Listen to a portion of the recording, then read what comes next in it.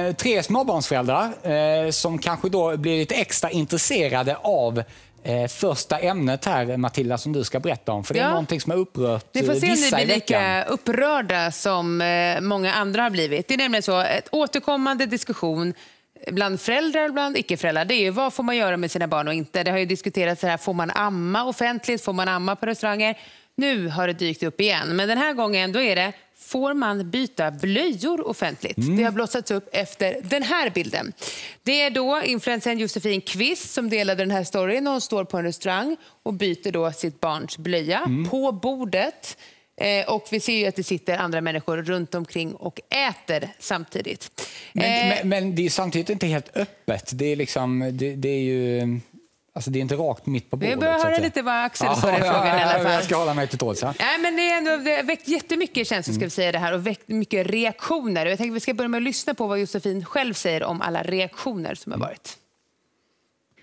Nej, men Jag är faktiskt helt chockad över den här reaktionen. Alltså jag trodde aldrig att en liten kissblöja skulle liksom riva upp så mycket känslor hos, eh, hos folk. Men det har det ju onekligen gjort.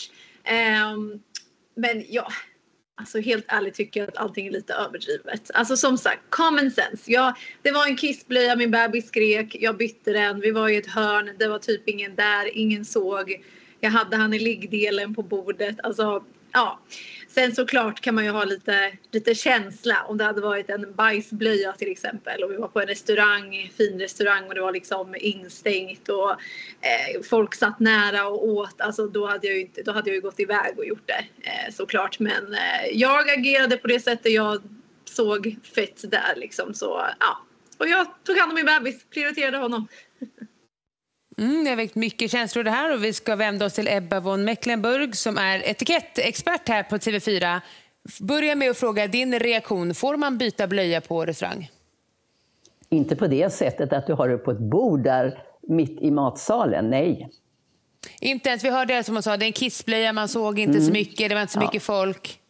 Det spelar ingen roll, det, du, det är ett offentligt rum. Och eh, normalt ska man ju gå åt sidan, du ska gå på toaletten eller så får du fråga personalen om det finns ett litet utrymme där du skulle kunna byta på din baby. Att man byter blöjor på be- är ju inget konstigt, men men du kan inte göra det bland andra gäster. Du kan ju tänka dig om du själv sitter och precis och ska äta och så bordet bredvid är det någon som står och byter blöjor. Jag tycker inte det, det är ohygieniskt och det är arrogant. Ja, eh, jag hör dig. Men jag, jag, jag måste säga att jag är inte så upprörd ändå. Dessutom, det är en kissblöja och hon- dessutom är lite dolt. Det är inte rakt på bordet utan det är, liksom, det är ju i den här liksom, vagndelen, så att säga. Om- Eh, om det- finns, det, inte- finns det liksom inte... Det känns som att det är så mycket annat som, som upprör eh, mer än det här. Jo, men om du börjar släppa på en sak så, så är, öppnar man portarna. Så att jag tycker nu att man som princip inte ska byta blöjor mitt bland eh, middagsgästerna på en restaurang. Men- Enkelt. Men om, finns det några undantagssituationer? Du var inne på det där. Som regel ska man inte göra det, men ibland är ju läget desperat. Säger vi som vill uppstå där. Det är två pappor här som uppenbarligen tycker att man får det. Jag tycker du ska gå åt sidan. Det, det är inte trevligt. Det, det, och tänk på lilla bebisen. Det, det är lite nästan kränkande tycker jag mot det lilla, lilla barnet. Om man ska vara uppriktig. Så jag tycker att man ska gå åt sidan. Japp. Tydliga ord där. Tack snälla att du var med här och redde ut saken. Enligt vett och etikett får man alltså inte byta.